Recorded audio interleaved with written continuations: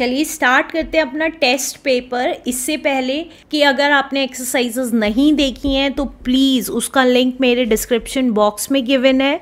या आप मेरी साइट www.elearnmaths.in पे जाकर सिंपली अपनी क्लास क्लिक करें बुक क्लिक करें और ड्रॉप डाउन के थ्रू किसी भी चैप्टर की एक्सरसाइज का प्लेलिस्ट देख सकते हैं. तो चलिए स्टार्ट करते हैं अपना क्वेश्चन क्वेश्चन में कह रहा है find the additive inverse of additive inverse निकालना है हमें इन पार्ट्स का। तो कैसे करेंगे? देखिए फ़र्स्ट पार्ट लिख लेते हैं हम seven upon minus ten additive inverse हमने सीखा था, अगर माइनस का ए है तो प्लस का ए हो जाएगा। प्लस का ए है तो माइनस का ए हो जाएगा। लेकिन अब ये प्लस का है या माइनस का है, कैसे पता चलेगा? इसमें डिनोमिनेटर में माइनस है। तो सबसे पहले जब भी डिनोमिनेटर में माइनस होता है तो हम उसकी माइनस वन से ऊपर नीचे मल्टीप्लाई करके माइनस न्यूमरेटर में लेके जाते हैं, या डायरेक्टली भी लिख सकते हैं। तो ये कितना आ गया? Plus minus minus seven one ज़ा seven, minus minus plus ten one ज़ा टेन। अब देखिए, अब ये क्या आ गई है value? Minus seven upon ten अब इसका एडिटिव इन्वर्स निकालना है। तो इसका एडिटिव ये माइनस की वैल्यू हो गई है और माइनस का एडिटिव इन्वर्स क्या होता है? प्लस की वैल्यू तो seven upon ten is the answer let's you second part now second part में कह रहा है eight upon five eight upon five plus का है। तो प्लस की वैल्यू का एडिटिव इन्वर्स क्या होता है? माइनस की वैल्यू तो माइनस का eight upon five is the answer let's do next question now next question में कह रहा है the sum of the two rational number is minus four हमें सम बता रहा है कि दो रैशनल नंबर का सम माइनस फोर है। तो वही लिख लेंगे हम। हमें दोनों रैशनल नंबर्स नहीं पता हैं तो लेट कर लेंगे। Let the two rational numbers be two rational numbers be A and B A और बी दो रैशनल नंबर है।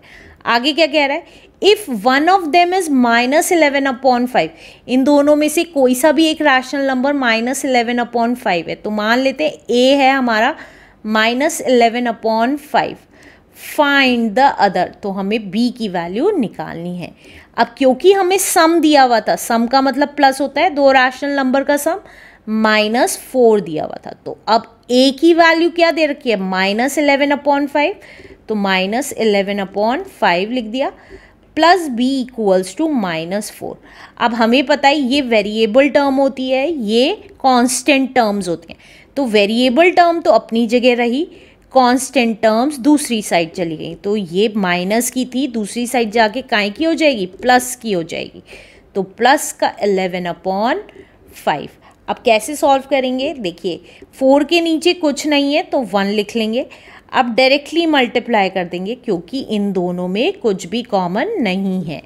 तो फाइव वन ज़ा फाइव और जब भी डायरेक्टली मल्टीप्लाई करते हैं तो इसकी मल्टीप्लाई इसके साथ और इसकी मल्टीप्लाई इसके साथ। तो माइनस फोर की मल्टीप्लाई फाइव में प्लस इलेवन की मल्टीप्लाई वन में। तो ये कितना आ जाएगा? तो ये आ गया हमारा minus plus minus four five ज़ा ट्वेंटी प्लस इलेवन वन ज़ा इलेवन अपॉन फाइव। तो b की वैल्यू कितनी आ जाएगी? देखिए, दोनों ऑपोजिट साइन है आपस में सब्ट्रैक्ट हो जाएँगे और साइन बड़ी वाली वैल्यू का लग जाएगा। तो ट्वेंटी में से इलेवन गया इज़ नाइन और बड़ी वाली वैल्यू माइनस की थी, इसलिए माइनस लगा दिया। तो माइनस नाइन अपॉन फाइव तो इसका मतलब हमारा दूसरा रैशनल नंबर कितना आ गया? Minus nine upon five is the answer let's do next question now next question में कह रहा है what should be added to minus three upon five minus three upon five में क्या ऐड करें? To get two upon three जिससे कि हमें टू अपॉन थ्री मिल जाए। तो हमें वो नंबर नहीं पता है कि क्या ऐड करना है तो हम लेट कर लेंगे। Let the number be A या एक्स कुछ भी मान सकते हैं वेरिएबल अब हमें पता चल गया एक्स को ऐड किया हमने माइनस थ्री अपॉन फाइव में, यही कह रहा है क्या ऐड करें? माइनस थ्री अपॉन फाइव में। तो एक्स ऐड किया, माइनस थ्री अपॉन फाइव में जिससे कि हमें क्या मिल गया? टू अपॉन थ्री मिल गया। तो two is equals to two upon three. अब इसे सॉल्व कर लेंगे। तो x तो एज इट इज़ आएगा। अब देखिए, प्लस माइनस माइनस होता है। माइनस थ्री अपॉन फाइव और equal to two upon three as it is अब वेरिएबल टर्म एक साइड और कांस्टेंट टर्म्स दूसरी साइड तो यहाँ पे ये अपनी जगह रहा, ये दूसरी साइड जाएगा तो माइनस का था तो काय का हो जाएगा? प्लस का हो जाएगा। प्लस का थ्री अपॉन फाइव तो एक्स की वैल्यू कितनी आएगी? देखिए थ्री और फाइव में कुछ भी कॉमन नहीं है, आपस में मल्टीप्लाई कर देंगे। तो थ्री फाइव ज़ा फिफ्टीन अब जब आपस में मल्टीप्लाई कर देते हैं तो इसकी मल्टीप्लाई इसके साथ, इसकी मल्टीप्लाई इसके साथ। तो टू की मल्टीप्लाई फाइव के साथ प्लस थ्री की मल्टीप्लाई थ्री के साथ। तो ये कितना आ जाएगा? एक्स एज इट इज़ अब देखिए टू फाइव ज़ा टेन प्लस थ्री थ्री ज़ा नाइन अपॉन फिफ्टीन तो x कितना आ गया हमारा? Ten plus nine is nineteen upon fifteen तो हाँ इसका मतलब माइनस थ्री अपॉन फाइव में क्या ऐड किया? नाइनटीन अपॉन फिफ्टीन ऐड किया। तो हमारा आंसर कितना आ जाएगा? टू अपॉन थ्री आ जाएगा। Answer let's do next question now next question में कह रहा है what should be subtracted from minus three upon four minus three upon four में से क्या सब्ट्रैक्ट करें कि हमें माइनस वन अपॉन टू मिल जाए? तो वो नंबर हमें नहीं पता है कि किसे सब्ट्रैक्ट करना है। तो हम उसको एक्स मान लेते हैं। कोई भी वेरिएबल मान सकते हैं। Let the number be X अब देखिए सब्ट्रैक्शन के केस में स्पेशली देखिए सब्ट्रैक्ट हमें कौन सा नंबर सब्ट्रैक्ट करना है? एक्स सब्ट्रैक्ट करना है फ्रॉम किसमें से? माइनस थ्री अपॉन फोर में से, जिससे कि हमें क्या मिल जाए? माइनस वन अपॉन टू मिल जाए। अब इस स्टेटमेंट को देख के करिए। फ्रॉम के बाद वाली डिजिट पहले आती है। सब्ट्रैक्शन का केस है, इसलिए माइनस लग जाएगा। और फ्रॉम के पहले वाली डिजिट बाद में आती है। Equals to minus one upon two अब माइनस एक्स अपनी जगह रहा। माइनस वन अपॉन टू अपनी जगह रहा।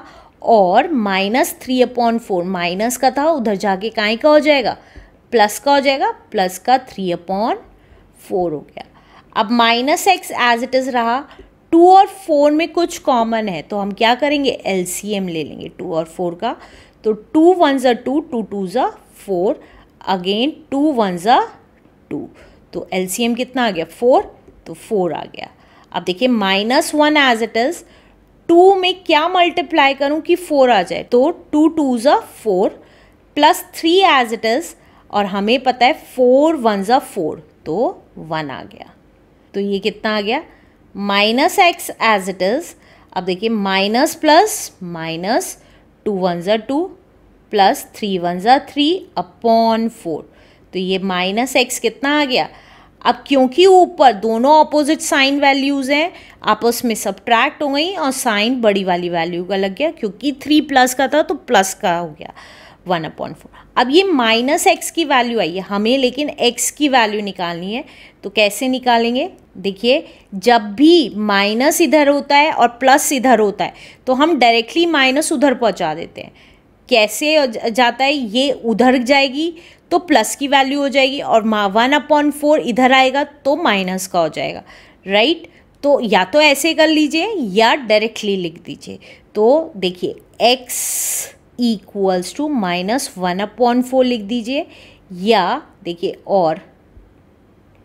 अगर आप देखेंगे, इसको उधर ले गए तो ये प्लस का हो गया, ये एक्स इधर आ गया। अब ये इधर ले आए तो माइनस प्लस का था माइनस का हो गया। तो भी यही आंसर आया सेम तो हमने इसलिए, आप चाहें तो डायरेक्टली ऐसे भी लिख सकते हैं। तो हमें पता चल गया कि minus one upon four subtract करेंगे माइनस थ्री अपॉन फोर में से तो हमारा कितना आ जाएगा? माइनस वन अपॉन टू आ जाएगा, answer. Let's you next question now next question में कह रहा है find the multiplicative inverse of हमें मल्टीप्लिकेटिव इनवर्स निकालना है। किसका? फ़र्स्ट पार्ट कह रहा है माइनस थ्री अपॉन फोर का। तो मल्टीप्लिकेटिव इनवर्स अगर आपने मेरी लास्ट वीडियोस देखी हो मैंने आपको बताया था मल्टीप्लिकेटिव इन्वर्स का मतलब होता है रेसिप्रोकल माइनस साइन तो अपनी जगह रहेगा, लेकिन जो डिनोमिनेटर में है, ये वैल्यू डिनोमिनेटर में है तो वो न्यूमरेटर में आ जाएगी. और न्यूमरेटर वाली वैल्यू डिनोमिनेटर में आ जाएगी। तो माइनस फोर अपॉन थ्री हो जाएगा। मल्टीप्लिकेटिव इनवर्स किसका? माइनस थ्री अपॉन फोर का। इसी तरीके से सेकंड पार्ट करते हैं। सेकंड पार्ट में कह रहा है इलेवन अपॉन फोर का मल्टीप्लिकेटिव इनवर्स क्या होगा? तो देखिए फोर डिनोमिनेटर से न्यूमरेटर में आ गया और इलेवन न्यूमरेटर से डिनोमिनेटर में आ गया। तो four upon eleven is the answer let's do next question